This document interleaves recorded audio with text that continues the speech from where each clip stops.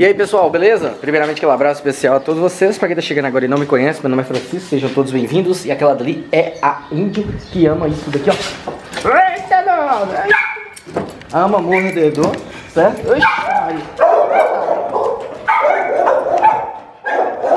O mordedor tá molhado porque... Oxi. Jogar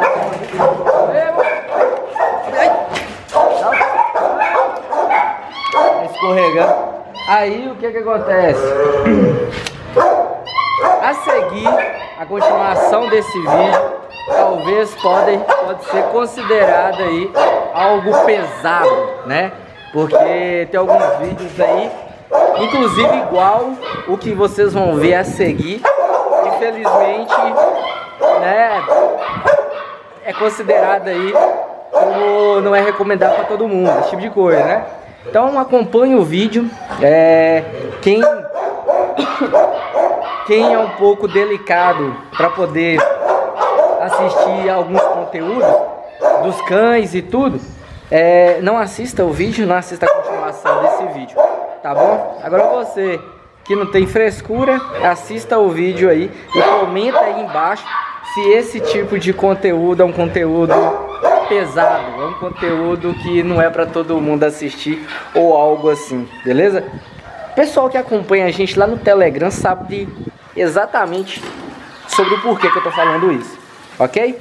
Tem até a imagem lá da mensagem que eu recebi, né? Mas confere aí o vídeo dos cachorros e comenta aí se o vídeo...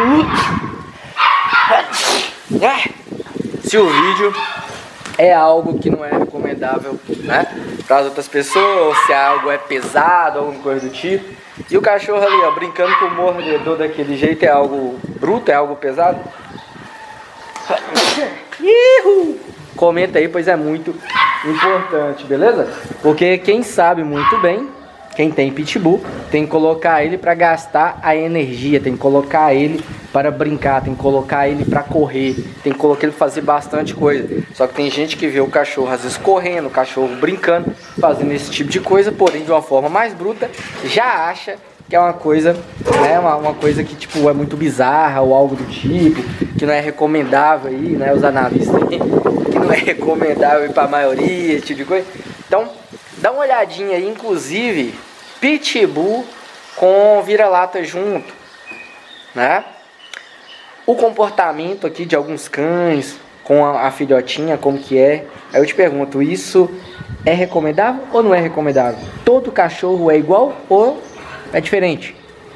Todo pitbull, ele pode ficar brincando com outro cão ou não? Todo pitbull dá certo com um cachorrinho vira-lata ou com algum filhote de fora que chega, você pode chegar e colocar ali junto ou não. Ou independente se é pitbull ou não, é todo cachorro que aceita outro cão quando chega em casa.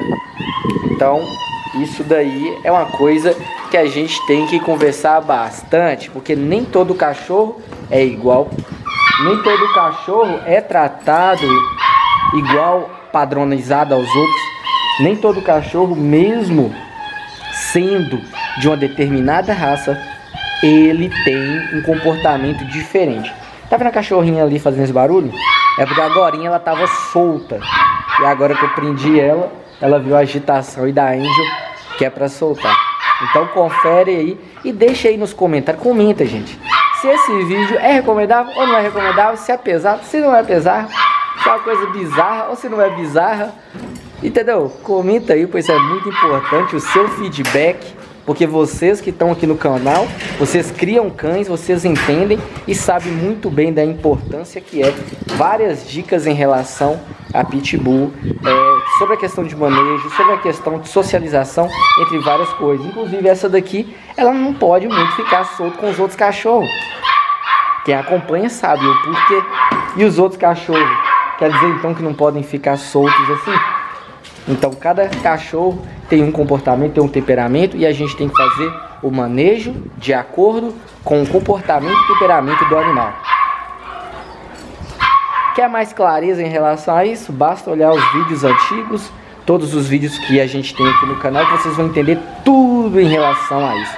Então confere o vídeo e deixa o like. Tamo junto. Bora, Angel!